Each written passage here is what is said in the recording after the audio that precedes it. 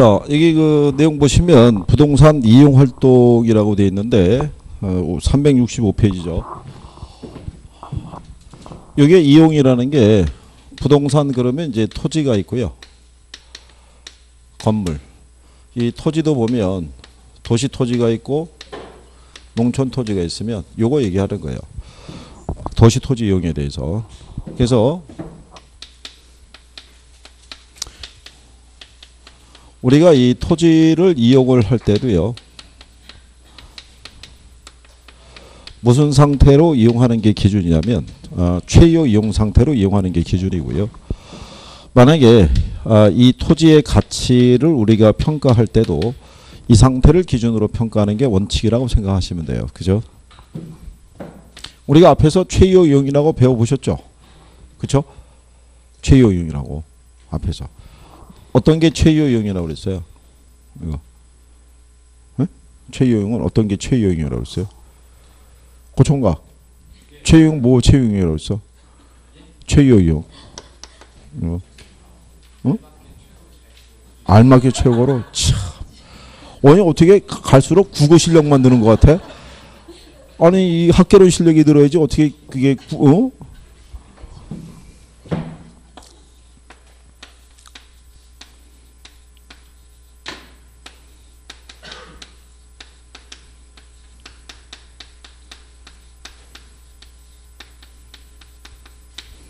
여러분의 역세권에 땅이 있으면 1번 상가, 2번 주택, 3번 공장 뭐 짓는다 그랬어요. 이거 질 거 아니에요. 그러니까 일반인 누구라도 생각할 수 있는 가장 일반적인 이용이 그게 최요 이용이라고요. 이게 토지 이용을 했을 때 어떤 게 가장 좋은 것이다라는 기준은 없어요. 그죠? 그러니까 최소한의 가이드를 준 게 이거라고요. 최요 이용. 그러니까 번역을 그렇게 해준 거예요. 번역 일본 애들이. 자, 그랬을 때 음, 거기에 보시면 아, 토지 이용의 집약도라는 게 있어요. 토지 이용의 집약도라는 것은요. 단위 면적의 토지에 대해서 투입되는 노동과 자본의 상대적 양의 크기를 가지고 측정한 게 집약도예요. 단위 면적당 투입되는 노동과 자본의 양이 큰 것을 우리가 집약적 이용. 이게 작은 것을 조방적 이용이라고 그래요. 우리는 이 집약적 이용에 대해서 앞에서 한번 해보셨죠. 생산 요소의 대체성과 도시지대 이거 설명해 드릴 때 그죠? 아, 여기 도심이 있어요.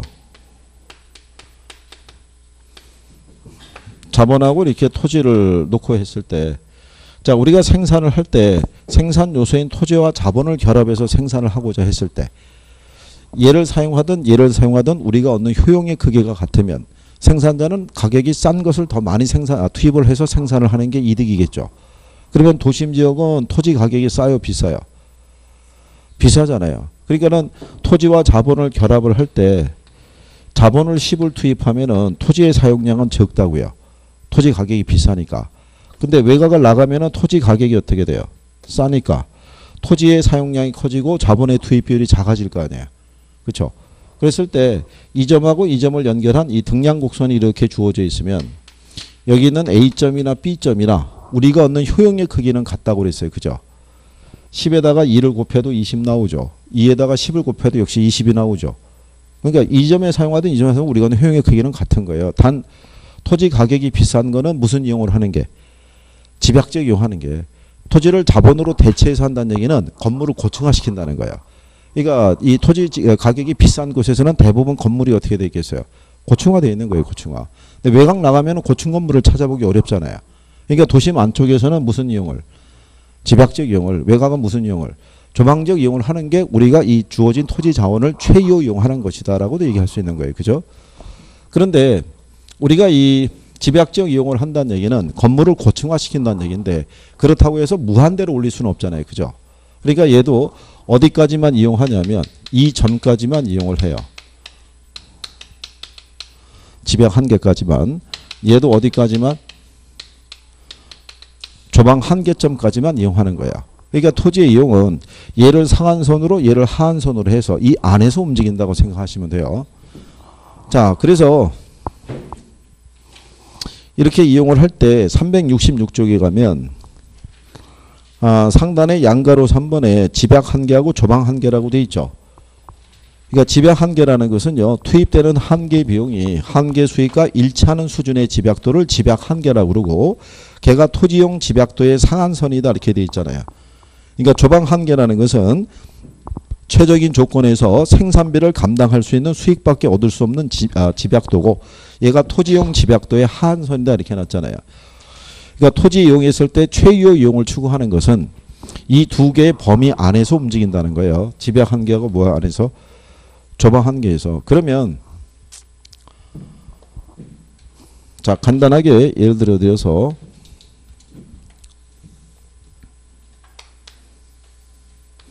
아 여기가 만약에 도심 지역이라고 가정하죠. 뭐가 비싼 거 지가가 자 그럼 여기에다 우리가 만약에 비용을 투입해서 건물을 짓는데 1층을 이렇게 건물을 지은 거예요. 그러면 한 층을 지을 때 들어가는 건축 비용이 있을 거 아니에요. 얘가 만약에 평방미터당 100만 원 된다고 생각하자고요. 근데 여기서 1층에서 얻어들 수 있는 임대 수익이 있을 때 임대 수익이 500만 원이라고 가정하자고요. 근데 땅값이 비싼 곳에서 층수를 이렇게 적게 활용한다는 얘기는 자원을 낭비하는 거랑 똑같겠죠. 그렇기 때문에 우리는 한 층을 더 올려볼 것을 생각해 보는 거죠.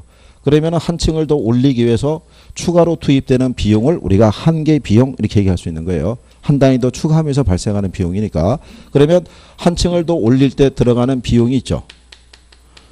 요 비용은 일정하다고 가정하자고요. 100만 원. 근데 여러분들 아시다시피 임대 수입이라는 거는 1층에서가 제일 크고 올라가면 임대 수입이 어떻게 돼요? 줄어들겠죠. 그러니까 한 층을 더 추가로 투입해서 얻어줄 수 있는 수입이 줄어드니까 얘가 400만 원이라고 이렇게 가정하자고요. 근데 2층으로 올렸어도 수입이 뭐보다 커요? 비용보다 크잖아요. 그럼 우리는 또 추가 투자를 생각해 볼 수 있다는 얘기예요. 여전히 뭐가 크니까 수입이 비용보다 크니까 그럼 한 층을 더 올렸을 때 얘는 여전히 100만 원이고 얘는 300 이렇게 되는 거예요. 그럼 여전히 얘가 얘보다 크니까 우리는 추가 투자를 해서 층수를 더 올리는 거예요. 그러면 얘는 그대로 100만 원이고 얘는 200만 원. 이렇게 가다 보면 두 개의 크기가 이렇게 같아지겠죠. 여기가 집약 한계점이라는 거예요. 이게 그러니까 여러분들이 왜 가- 예, 주변을 보게 되면요. 들어서 있는 건물의 규모가 비슷해요. 그죠? 우뚝 솟아 있는 애들은 임대가 다 100% 되는 게 아니라 공실이 많을 수도 있는 거예요. 그렇기 때문에 법의 규정에 있어서 20층까지도 지을 수 있는 공간이 허용돼 있다 그래서 사람들이 20층을 꽉 메워서 건축하진 않아요. 그 지역에 뭐를 봐야 돼요? 수요를 봐야 되죠. 20층을 졌을 때 10층까지만 거의 임대가 좀 되는 동 마는 동 하고 그 이유는 공실로만 남아 있으면 오히려 유지 비용이 더 많이 들어갈 거 아니야. 무슨 말인지 아시겠나요? 그러면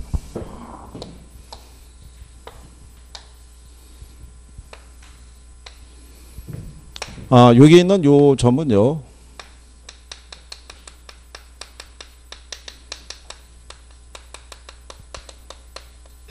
요게 같아지는 점이고요. 이 구간이 있을 때는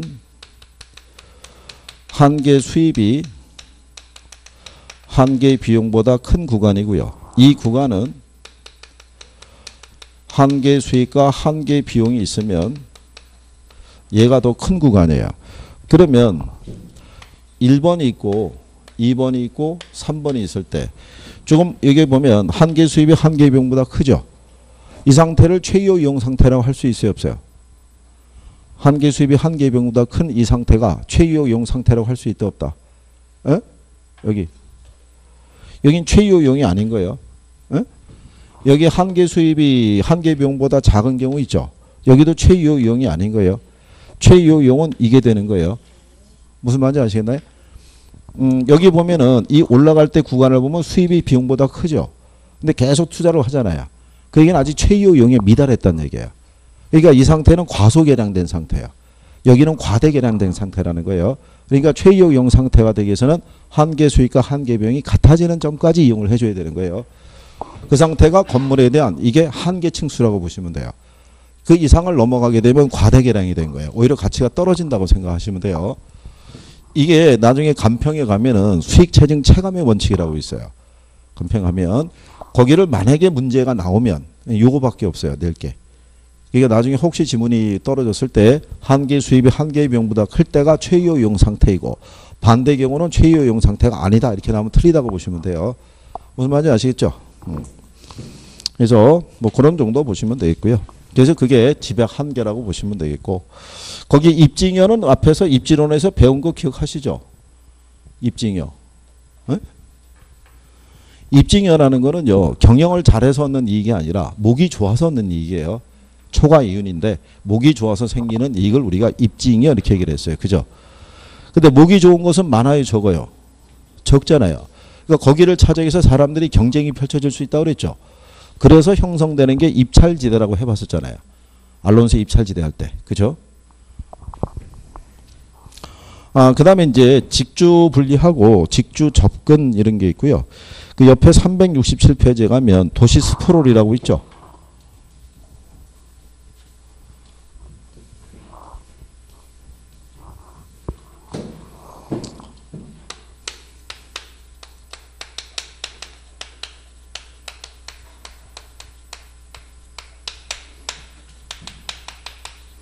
아, 도시 스포롤이라는 것은요. 도시의 성장이 불규칙하고 무질서하게 평면적으로 확산되는 것을 도시 스포롤이라고 그래요.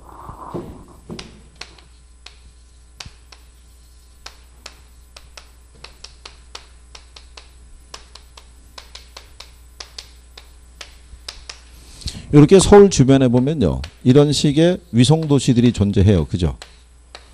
이렇게 뻗어나간 게 도시 스포롤이라고 보시면 돼요. 이렇게. 이렇게 뻗어나가서 이렇게 도시가 형성이 됐을 때 이 중에 도시계획에서 만들어진 지역은 별로 없어요. 지난번에 우리가 간단하게 설명해 드렸는데 이 경기도 가면 성남이라는 도시가 있는데 이 도시 안에 들어가게 되면 구가 세 개가 있어요. 중원구 안에 수정구 안에 그 다음에 분당구 세 개가 있는데 얘만 도시계획에서 만들어진 거야. 여기는 예전에 그 서울에 가면 사당동 이쪽 일대가 철거됐을 때 그 철거민들이 밀려 들어간 지역이에요. 그러니까 여기는 일단 집이 필요했기 때문에 소위가 얘기해서 뭐 운막 같은 거 치고 이러고 살던데요. 그러니까 옛날에 이 초기의 성남시에서는 서울로 들어가는 버스 타려고 그러면 한 30분을 걸어 나왔어야 됐어요.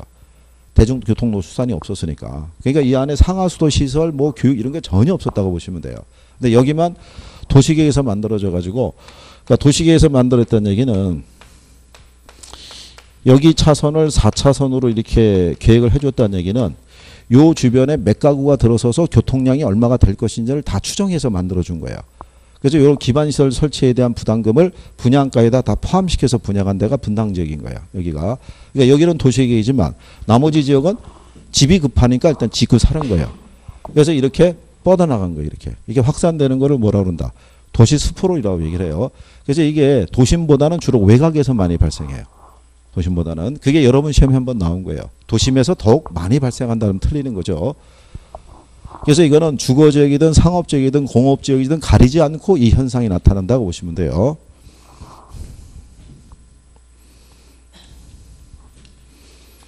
음, 그래서 이제 뒤로 가시면 368페이지에 스포롤 현상의 유형을 보면 고밀도, 저밀도, 그 다음에 비지적 현상이라고 돼 있죠.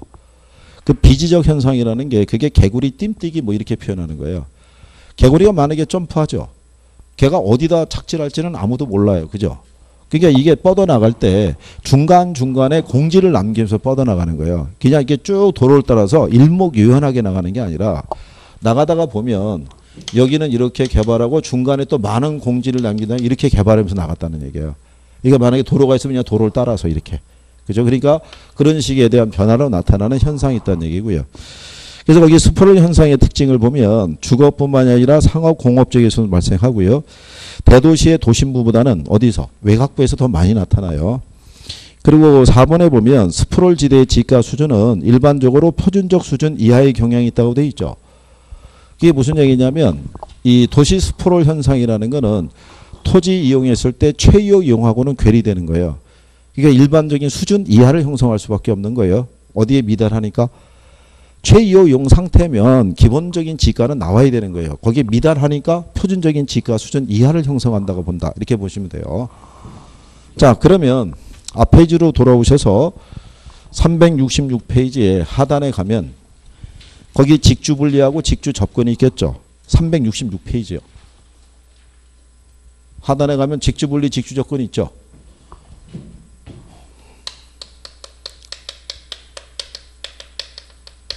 자, 그러면 여러분들이 보시면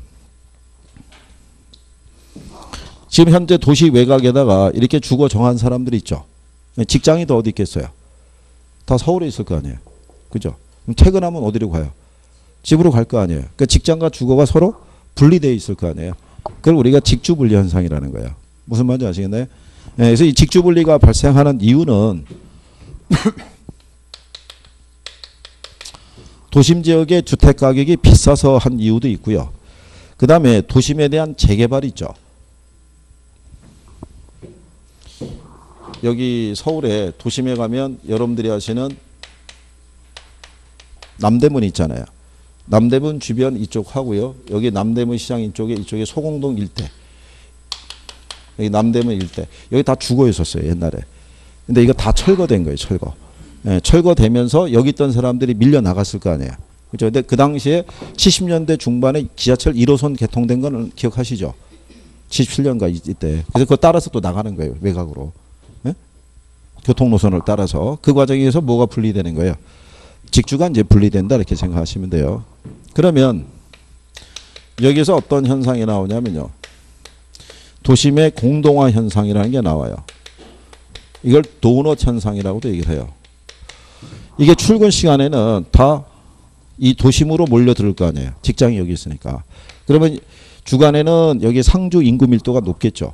근데 저녁이 되면 다 집으로 돌아갈 거 아니에요. 그럼 야간 상주 인구 밀도가 줄어들 거 아니에요. 그러면 도심 한가운데가 구멍이 뻥 뚫린 것 같은 공동화 현상이 나온다는 거예요. 이렇게. 그리고 어, 도심 고동 현상 이런 게 나타나요.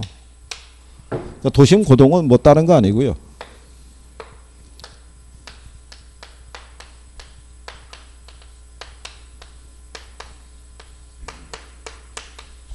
우리가 대부분 보면요. 아침에 왜 출근 시간 있잖아요. 출근 시간에는 통행량이 이렇게 높게 나타날 거 아니에요. 출근 시간이 지나면은 통행량이 훅 급격히 줄어들겠죠. 또 퇴근 시간 되면 저녁에 6시, 8시 사이에서는 통행량이 급격히 늘어날 거 아니에요. 출근할 때 이 사람들이 다 도심으로 몰려들 거 아니에요.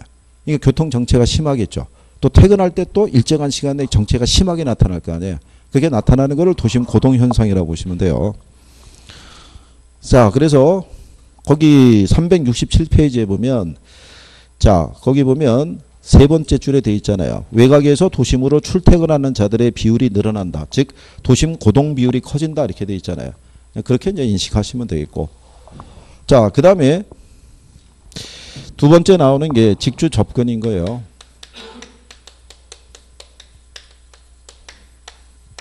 음, 이거는 반대로요. 외곽에 나갔던 사람들이 다시 도심으로 회귀하려는 현상이라고 생각하시면 돼요. 이쪽에 경기도 일원에 가게 되면요. 뭐 의왕시라든가 아니면 군포시 뭐 이런 시들이 있어요. 이 평촌 인근에 있어요. 근데 이제 이쪽에 이제 주거가 조성이 됐을 때는요. 서울에 비해서는 여기가 집값이 쌌단 얘기죠. 여기가. 그리고 이제 이쪽으로 외곽 순환도로라는 게 연결이 된 거예요. 그러니까 이제 사람들이 이쪽에 가서 주거를 정한 거예요. 근데 이게 90년대 한 초중반 사이에서는 가서 보면은요. 아파트 단지가 있으면 주차장이 텅텅 비었었어요. 그게 이제 아파트 단지 출입도 자유스럽고 막 이랬다는 얘기죠.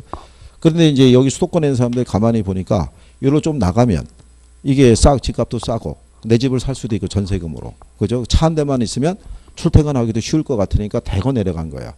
그러다 보니까 교통량이 많아- 많아졌을 거 아니에요. 그래서 서서히 정체가 조금씩 시작이 되고 있을 때 갑자기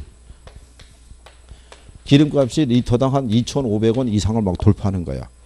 그러면은 무슨 비용이 커지는 거예요? 주거비의 절약분보다도 뭐가? 교통비에 대한 증가분이 더 커져요. 그렇게 되면 여기 있는 사람들이 집을 팔고 이 서울의 경계로 전세 얻으면서 들어와요. 일단 이렇게 들어오는 것도 집중 접근의 하나예요.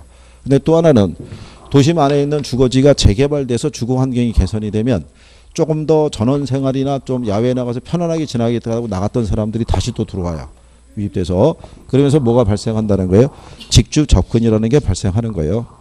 그래서 원인이 도심의 환경 개선, 그 다음에 교통 체증의 심화 이렇게 나오는 거예요. 그러면 그 결과로 도시 회춘화가 나온다고 돼 있는데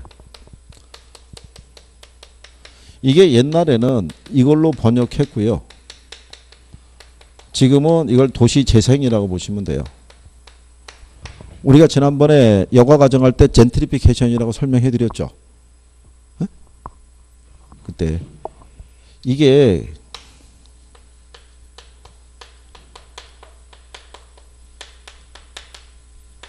이게 원문은 젠트리피케이션인데 옛날에는 이걸 번역할 적정한 표현이 없어서 그때 이제 학자들이 도시 회춘화 이렇게 번역한 거예요. 근데 근래는 이걸 다 도시 재생이라고 명시한다고요. 그때 우리가 여고 할 때 한번 해드렸던 거예요. 그죠? 음, 그래서 그렇게 음, 그 다음에 368페이지에 나와 있는 요 침입과 개성이라는 것도 이것도 앞에서 배우신 거예요. 그죠? 어디서 배웠다? 여고 할 때 여과, 여과. 예? 거기서 배우신 거예요. 그 다음 옆에 가면 한계지라고 돼 있죠. 한계지. 한계지는요, 택지 이용의 최원방권이라고 돼 있잖아요. 그러니까 택지라는 거는 여러분들 알다시피 주거나 상업이나 공업적인 용도로 쓸 수 있는 토지잖아요. 그죠? 그러니까 도시 토지의 끝이라고 보면 돼요. 도시의 끝. 그게 한계지라고 보시면 되는데 한계지는 계속 연장된다고 생각하시면 돼요.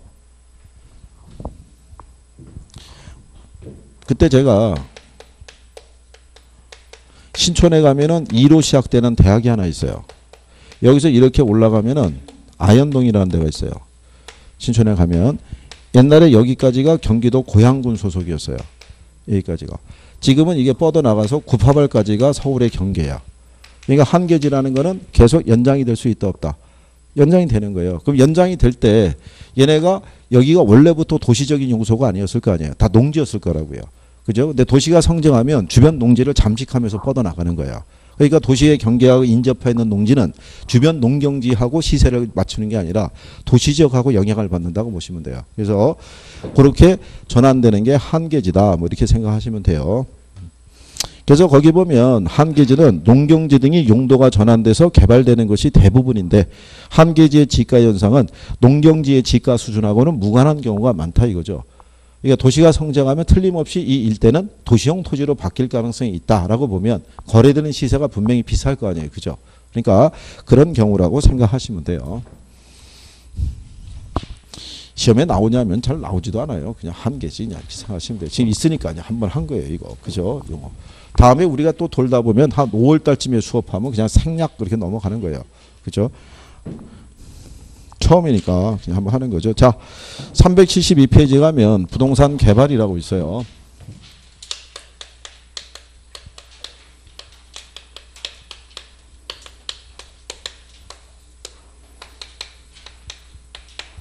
아, 요 개발에 대한 어, 개념 또는 정의가 있는데 개발에 대한 정의는요 학자들에 의해서 내려진 것도 있고요 법률에 의해서 내려진 것도 있어요. 근데 둘 다 여러분 시험에는 명시를 해요. 출제를 하니까. 그래서 이제 학자들의 얘기는 이제 뭘 얘기를 하냐면요. 우리 교재에서는 인간에게 생활, 쇼핑, 레저 공간 등을 제공할 목적으로 토지를 개량하는 활동이다 이렇게 돼 있잖아요. 그러면 학자들의 논리에 따르면 경제 주체가 이 경제 활동이라는 거를 꾸준히 해야지만 삶을 영위할 수 있다 이런 얘기죠. 이때 경제 활동의 대표적인 게 생산 또는 소비 활동이라고 그랬어요. 그러면 요 생산하기 위해 또는 소비하기 위해서는 뭐가 필요하냐면 얘가 필요한 거예요. 공간이 필요할 거 아니에요. 생산하려고 그러면 뭐가 있어야 돼요? 공장이 있어야 되잖아요. 그럼 공장을 집어넣을 만한 공간이 있어야지 공단이 또 들어설 거 아니에요. 소비하기 위해서는 주거지가 있어야 될 거고. 그죠? 요 공간을 만들어내는 거를 개발이다 이런 얘기예요. 공간을. 근데 이 공간이랑 어떤 시설물이 들어있어야 공간을 만들기 위해서는 먼저 대지를 갖다 조성을 해야 되겠죠. 그러니까는 좁은 의미에서는 조성 개량도 개발의 범죄에 들어가는 거고 넓은 의미에서는 거기 위에다가 건축물까지 집어넣는 것을 개발로도 볼 수 있다. 그래서 거기 보시면 조성 개량이 있고 무슨 개량이 있다 그러냐면 건축에 의한 개량 이렇게 나온 거예요. 예. 그런데 요 개발에 대한 정의 관계를 보면요. 그 밑에 양가로 3번에 부동산 개발업의 권리 및 육성에 관한 법률상 부동산 개발이라고 있죠. 예, 그게 여러분의 시험에 나온 거예요. 그게 그러니까 거기 있는 내용은 학자가 정의한 게 아니라 법령상에 명시한 개발의 정의인 거예요. 개발은 이렇게 나오죠. 예, 그러면서 시공을 담당하는 행위는 제외하는 거예요. 그건 건설업에서 하는 거기 때문에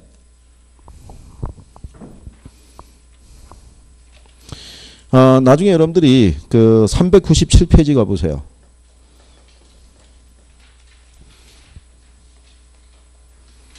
자, 397페이지 가면 그 문제 7번 있죠. 7번을 보시면 자, 부동산 개발에 관한 설명으로 옳은 것을 모두 고른 거 이렇게 물어봤잖아요. 거기 기억에 들어가 있는 애 있죠. 부동산 개발이란 타인에게 공급할 목적으로 토지를 조성하거나 건축물을 건축주해서 부동산을 공급하는 것을 말한다. 다만 시공을 담당한 행위는 제외된다 이렇게 돼 있잖아요.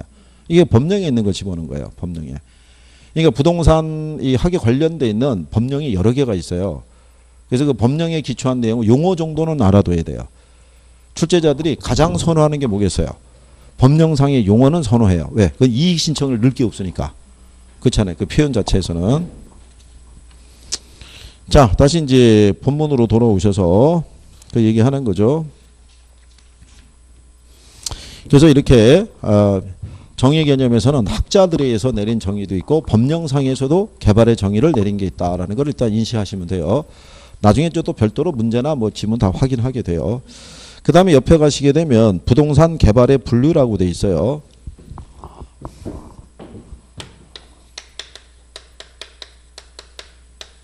음, 거기 보면 이제 그 공영개발이라고 있는데요.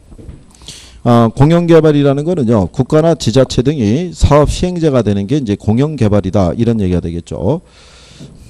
근데 이제 거기 나와 있는 이제 공영개발에 대한 부분은요, 얘네가 이제 그 정부가 개입을 해서 공영개발을 하는 이유가 뭐가 있냐면, 앞에서 여러분들은 이, 이걸 배웠죠. 여과라고. 그죠? 이 여과라는 게 정상적으로 진행이 되잖아요. 그래서 예를 들어서 시장에 그 신축 주택이 공급이 돼요. 그러면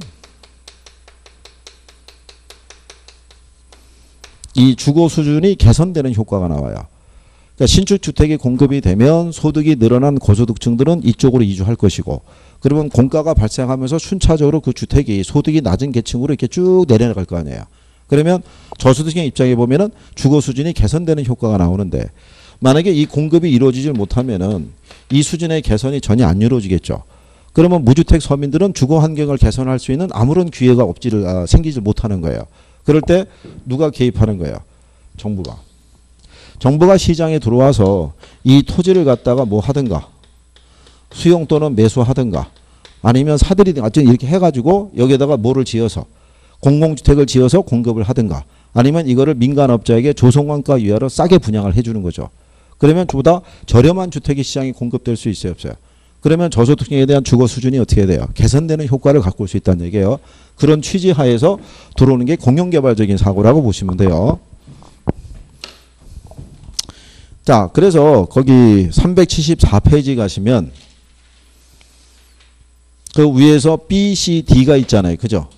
예, D가 있을 때 개발이익이 많이 발생할 수 있는 상업용지나 기타 용지의 매각 수익을 택지 가격에 반영함으로써 저소득층에게 저렴한 주택을 원활하게 공급할 수 있다. 뭐 이제 이런 요건이 있는 거예요.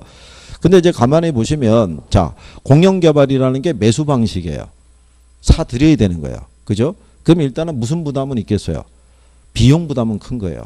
그죠? 근데 사들이는데 토지 소유자하고의 협의해서 사들이는 게 아니라 이게 토지 수용법에 근거해서 강제 수용이라고요. 그러면 당연히 보상 문제가 걸릴 수 있어요, 없어요? 그렇잖아요. 그래서 그런 부분에서의 문제는 발생하는 거예요. 대신에 공적인 주체가 개발하니까 효율적이고 계획적인 개발은 가능하다는 장점은 분명히 갖고 있고 저소득층에 대한 배려를 할 수 있다는 것도 강점이라고 생각하시면 돼요. 그죠? 근데 단점은 그런 부분이 있다고 보시면 돼요. 그래서 거기 단점에 보면은 토지 소유자들에 대한 반발, 그렇죠? 토지 매입 및 개발에 소요되는 과중한 재정적인 부담, 그렇죠? 예, 이런 것들이 있다라고 생각하시면 돼요. 자, 그다음에 이제 그 밑에 보면 민간 개발이라고 있죠. 거기는 별표 하시는 거예요.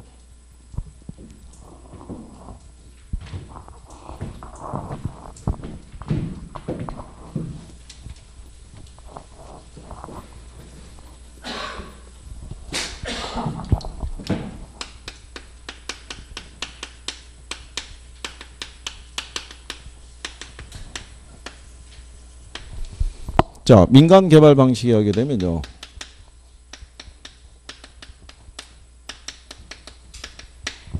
이 먼저 이 자체 개발 방식이라고 있다고 보시면 돼요. 자체 개발. 자체 개발이라는 거는요. 지주 자력 개발이라고 보셔도 돼요. 그러니까 여기는 사업 주체가 토지 소유자예요. 그러니까 이 사람이 아, 건설 자금도 이 사람이 조달하고요. 이익도 이 사람이 가져가고요. 대신에 위험 부담도 다 자기가 지는 거예요. 그게 자체 개발 사업이라고 보시면 돼요. 예. 그러니까 토지 소유자가 자기가 가지고 있는 땅에다가 자기가 건설 자금 조달해서 건물 지어서 분양해서 수익을 가져가는 구조인 거예요. 대신에 잘 분양이 안 되면 위험도 다 고스란히 자기가 부담하는 구조라고 보시면 돼요. 그래서 이 위험 자체를 분담시키기 위해서 나오는 게 지주 공동 사업 방식이라고 보시면 돼요. 그러니까 지주 공동 사업 방식에서는요. 사업 주체가 토지 소유자하고 그 다음에 개발업자 이렇게 결합이 돼서 들어간다는 거예요. 그럼 취지는 뭐냐면 뭐를 분담시키기 위해서 개발 사업에 관한 위험을 분담하기 위해서 그러니까 토지 소유자는 땅을 대고 개발업자는 건설 자금을 이렇게 지원을 해서 개발 사업을 완성시켜가는 구조인데 아, 이 지주 공동 사업 방식의 유형을 보면요. 공사비를 대물로 변제해 주는 형이 있어요. 이거를 등가 교환 방식이라고 그래요. 이게 등가 교환 방식이라는 거는 거의 일본식 표현인데 여러분 시험에는 등가 교환이라는 표현도 써요. 이게 아, 이 공사비 대물 변제에 대한 거는요. 여러분들 주변에서도 볼 수 있어요. 주변에 보면 왜 연립주택 한두 동 짓고 난 다음에 거기 지으려고 그러면 전기 시설 설치해야 되잖아요. 그럼 전기업자가 와서 시설 쭉 설치해 주고 난 다음에 돈을 줘야 되잖아요. 근데 이 사업자가 돈을 안 주고 물건으로 주죠. 저기 301호 노출 테니까 그거 네가 팔아서 네가 가지고 가라. 이렇게 하는 것도 대물 변경에 해당이 된다고 보시면 돼요. 물건으로 주는 거예요. 이게 이론에 보면 토지 소유자는 땅을 대고 개발업자들은 자금을 대서 건물을 짓고 난 다음에 토지 가치하고 건물 가치를 비례해서 교환하는 방식이라고 돼 있는데 이게 100% 1대1로 이 비율이 맞지는 않아요. 토지 가치하고 건물 가치하고 그러니까 일단은 교환을 하되 부족한 부분은 현금으로 지원해 준다든가 별도의 특약 사항은 결정을 해 놔야 돼요. 이게 뭐 그런 식으로 가는 게 대물 변경이고요. 그 다음에 이 공사비를 분양금으로 지급하는 형태도 있어요. 분양을 통해서 음, 그리고 투자자를 모집해서 운영하는 형태도 있어요.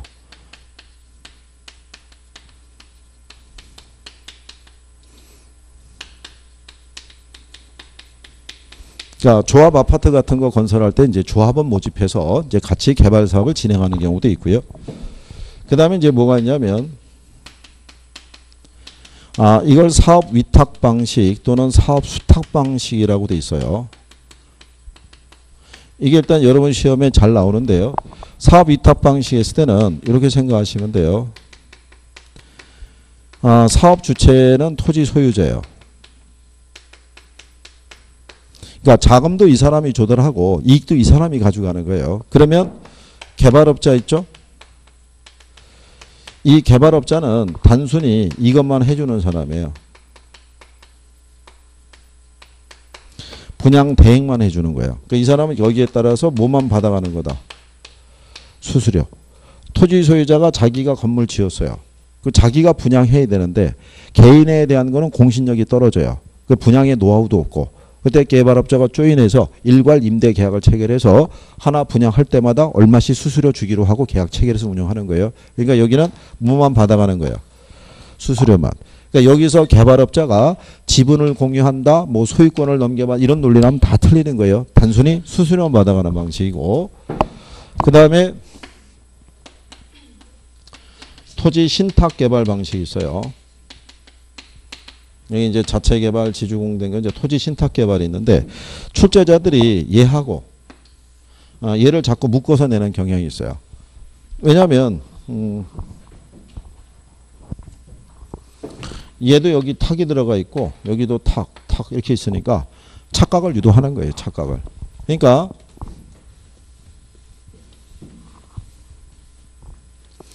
아, 토지 신탁 개발 방식에서는요. 위탁자가 있고 이렇게 수탁자가 있어요. 여기 있는 위탁자가 토지 소유자고요. 여기 있는 수탁자는 이게 신탁 회사라고 보시면 돼요. 예. 그러면 얘네가 이렇게 신탁 계약을 체결을 하게 되면요. 원래 이 위탁자의 소유였던 이 토지의 소유권이 이게 형식적으로 신탁사 명의로 이전이 되는 거예요.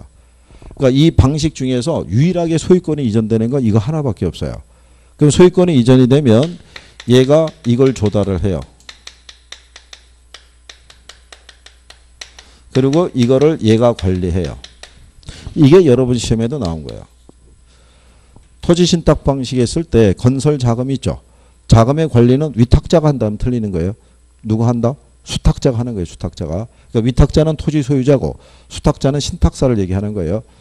이렇게 해서 얘네가 이 자금을 어, 확보를 해서 개발 사업을 이렇게 완성을 하죠.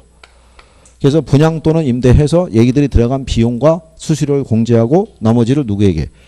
토지 소유자, 위탁자 또는 위탁자가 지정하는 수익자에게 지급하는 형식이라고 보시면 돼요.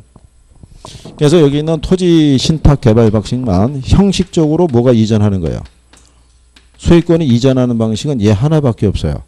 그리고 토지 신탁 개발 방식의 사업 주체는 토지 소유자가 아닌 거예요. 누가? 신탁 회사가 되는 거예요.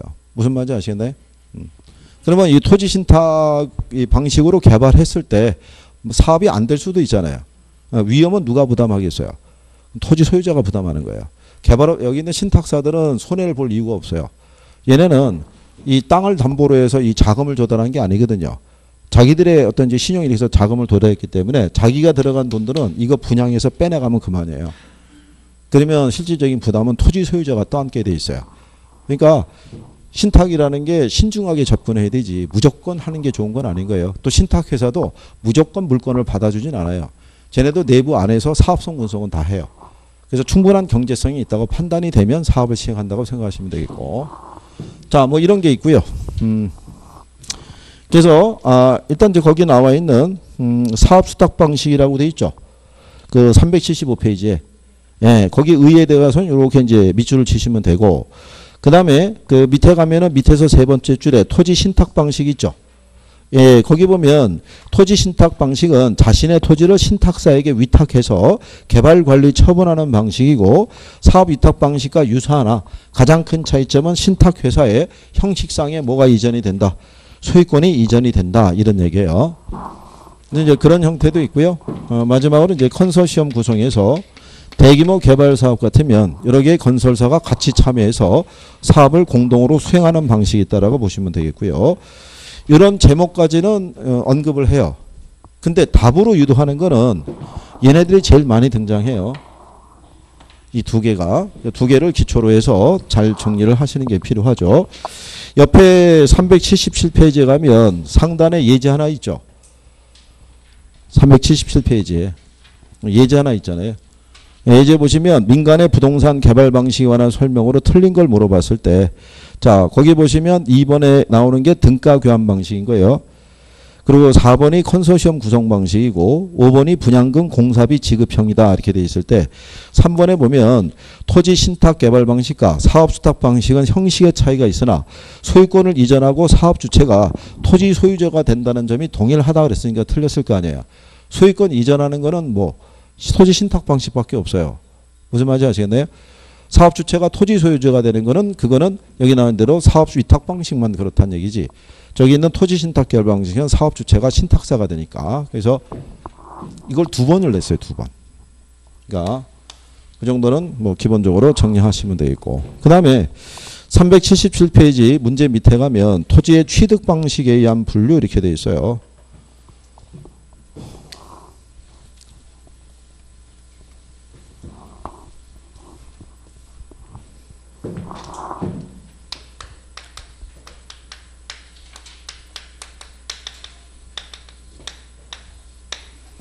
아, 토지 취득 방식에 가게 되면요. 환지가 있고 전면 매수가 있고 뭐 이렇게 돼 있는데 그 첫 번째 나오는 게 뭐가 있냐면요.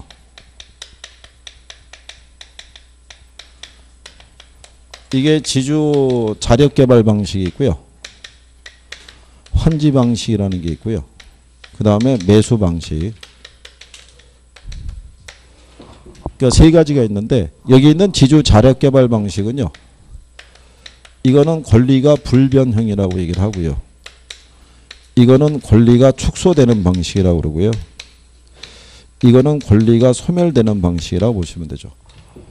그러니까 이거는 지주 자력 개발은 저기 있는 자체 개발하고 똑같은 거예요. 그 토지 소유자가 자기 땅에다가 자기가 자금 조달해서 자기가 건물 지어서 분양해서 수익을 내는 구조인 거예요. 그러니까 토지 자체의 소유권에는 변화가 없는 거예요. 이게.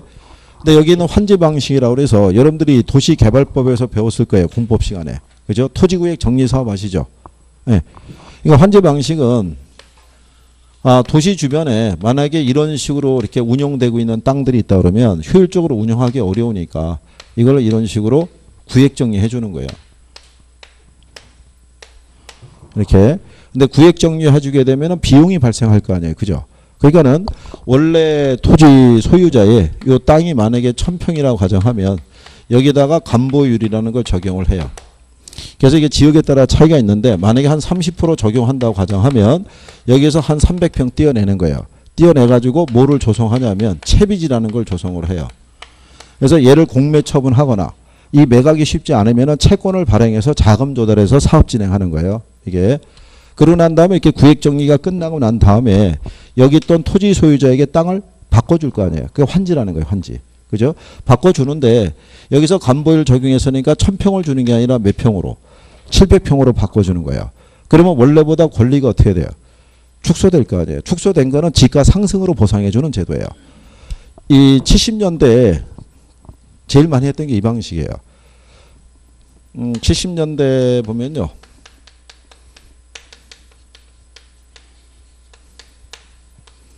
어, 영동지구의 개발을 이 방식으로 한 거예요. 이 방식으로.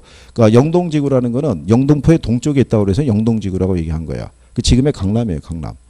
그 옛날에 그래서 여러분들이 그 강남에 가면 지금은 명칭이 강남 세브란스 병원으로 바뀌었는데 옛날엔 걔가 영동 세브란스 병원이었어요.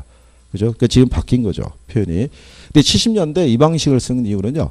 그 당시에 우리나라 공무원들이 알고 있는 방식이 이거밖에 없었다는 거예요. 일본 애들에게 배운 게. 그래서 이거에 대한 문제점이 이게 지가 상승이 너무 폭등해서 문제가 많아가지고 80년대 썼던 방식이 뭐냐면 그게 공영개발 방식이에요. 이거. 그래서 80년대 매수 방식, 공영개발 방식으로 건설한 대표적인 데가 목동 신시가지 조성한대요. 거기가 공영개발 방식으로 개발한 거예요. 그 매수하면 아까 얘기한 것처럼 이 토지 수용 과정에서 보상 문제로 갈등이 많다고 그랬죠. 거기가 특히 심했었어요. 목동도. 그래가지고 처음에는 판자촌 거기 그 뚝방촌 밑으로 보면 판자촌 이 게 많았거든요. 근데 판자촌이라도 소유자가 있으니까 이주민이나 보상비를 줬을 거 아니에요. 근데 그거 가지고 밀고 당기고 한참 협의가 늦어졌다가 간신히 타결을 받는데 그 다음에 세입자들이 또 들고 일어난 거야. 우리도 보상해 줘야 될 거 아니냐 막 이래가지고. 그래요 그때 서울시 부시장이 끌려가서 감금당하고 막 그랬던 거예요. 그래가지고 서울시에서 그때 뒤어가지고 한동안은 공영개발 방식으로 사업 추진 안 했었어요. 그러다 나중에 은평지구 개발할 때 공영개발 방식으로 또 시행한 거예요. 어쨌든 뭐 그런 거예요. 그래서 이게 매수 방식이 아까 했던 뭐예요? 공영개발 방식이라고 보시면 되는 거예요. 그러니까 얘는 권리가 소멸되죠. 사들이니까 강제 수용해서 그, 그 방식이라고 보시면 돼요. 그러면 얘네가 여기 나온 이유가 뭐냐면 얘가 출제가 된 거예요. 뭐가 환지 방식이. 그래서 여기 언급이 돼 있다라고 보시면 돼요. 근데 이 환지 방식에 대해서는요. 동차를 같이 공부하는 사람들은 별로 어려움이 없어요. 왜냐하면 공법에서 배우니까. 근데 1차만 배우는 사람들은 환지 방식이 또 힘들죠. 그렇잖아요. 근데 이거는 나중에 얘를 설명을 할 때 이게 공영개발 방식이거든요. 얘 설명할 때 얘는 묻어서 같이 설명하게 돼 있어요. 학계론에서도 기본적으로. 그렇기 때문에 답을 맞출 때는 별 어려움이 없다. 뭐 이렇게 보시면 돼 있고. 자, 뒷장에 넘어가시면 신개발 또는 뭐가 있어요? 재개발 이렇게 돼 있는데 아, 거기 보시면 신개발은 뭐 참고하셔도 되고 그 밑에 가면 재개발이라고 돼 있죠. 이 재개발에 대한 부분에 보면 거기 정비 사업의 유형에 따른 구분이라고 나와 있죠. 거기는 별표 하나 하시는 거야. 거기 보면 주거환경 개선 사업, 주택 재개발 사업, 주택 재건축 사업 쭉 가서 가로주택 정비 사업까지 가 있죠. 거기다가는 그 바로 나와 있는 가로주택 정비 사업에다가 또 별표 하나 해두세요. 용어상에서. 이게 도시 재생에서 쓰이는 거예요. 도시 재생 사업 있죠. 이번 정부가 그 역, 어, 역점을 두고 추진하는 사업이 도시 재생 사업이에요. 예산을 50조를 확보해서. 근데 이거를 대단위로 개발을 하게 되면 돈 많은 사람들의 놀이터가 되니까 이거를 소규모로 쪼개서 개발 사업을 추진하겠다는 거예요. 예, 거기에 들어가는 사업이 가로주택 정비 사업이에요. 이거 소규모로 주거 환경을 개선하기 위해서 시행하는 사업이잖아요. 무슨 말인지 아시겠나요? 그러니까 박스로 나와가지고 이게 무슨 사업이냐? 그럴 때 가로주택 정비 사업이다. 예, 이런 정도로만 활용할 수 있으시면 돼요. 얘도 공법에 가면 있어요, 없어요? 공법에 다 있어요. 배워요, 공법에서. 배우는데 공법에서 낼 만한 수준의 문제는 아니란 얘기예요. 이게 어디로 나온다는 거예요? 학계론으로. 그러니까 그런 정도만 일단 체킹해 두시면 돼요. 자, 그 다음에 시행 방법에 따른 구분이라고 돼 있죠. 용어만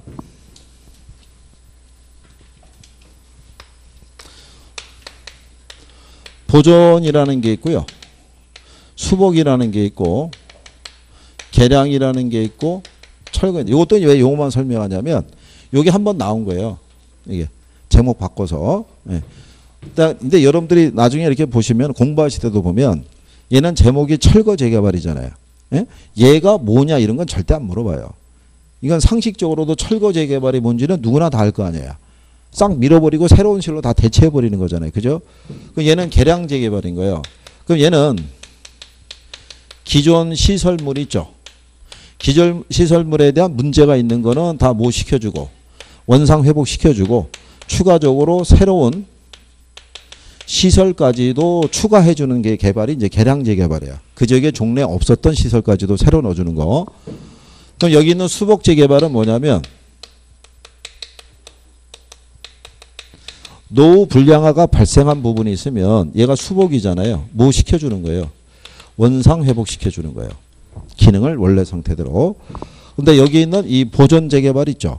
보존 재개발은 어, 저기 얼마 전에 보면은 이 경주 지역에서 이 지진 발생한 적이 있죠.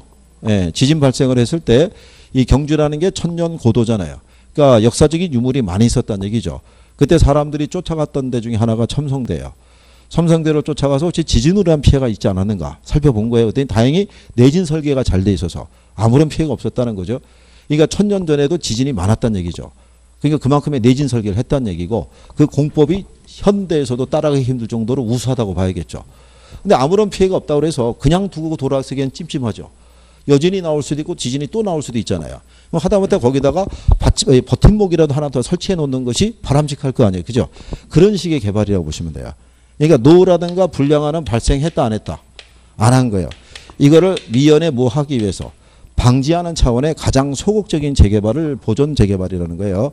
그러니까 얘가 가장 소극적이고 얘가 소극적이고 얘가 적극적이고 얘가 가장 적극적인 재개발이다 이렇게 얘기하는 거예요. 그래서 그런 정도. 그 다음 뭐 외관에 따른 분류 이건 참고하셔도 되고요. 그 다음에 그 뒤에 가면 380페이지에 부동산 개발의 과정 이렇게 돼 있죠. 380페이지에. 예, 거기는 별표 하시는 거예요. 자, 그런데 이게 이제 맞물려 있는 거예요. 거기 보면 부동산 개발의 과정을 보면 아이디어, 예비적 타당성, 양가로 3번에 가면 부지 확보 단계라고 돼 있죠. 예? 부지 확보. 여기 보면은 우리가 지주 공동 사업이 있잖아요. 그죠? 예. 그게 그렇게 조인 된다고 보시면 돼요. 일단 개발 사업을 추진하려고 그러면 가장 중요한 게 뭐겠어요? 땅이 있어야 돼요, 땅이.